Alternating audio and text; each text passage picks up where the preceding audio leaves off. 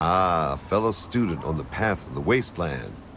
Welcome to my humble caravan. Please relax, for we are in a place of safety. The type of safety that can only be ensured by an abundance of weaponry, both wicked and awesome. All of which can be yours, for the right price. See, the world's dangerous and unbalanced place.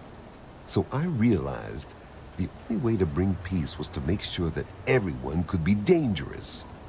So, with a little bit of help from the mayor of Canterbury Commons, I set up this caravan. I can't give the weapons away for free, but I come close. It's my pleasure to offer hot death in a variety of exciting flavors. Take your pick.